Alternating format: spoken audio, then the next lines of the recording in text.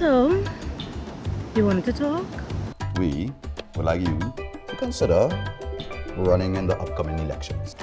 Me. How could you, How Jamon? didn't do this thing, Sharon. Tell me, Calvin, are you a good lover? $20,000 a month. That's a lot of money. I'm with it.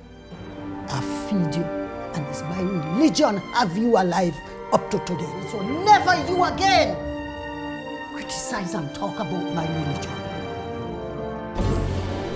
Shame yourself, your husband, your child, me, your mother, everybody in the family.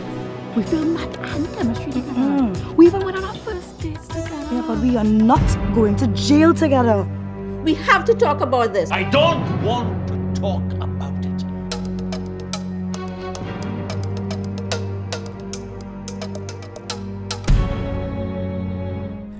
woman is having my husband's child. What the hell does that matter now?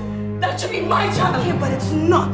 There are no boundaries, boundaries of color or creed.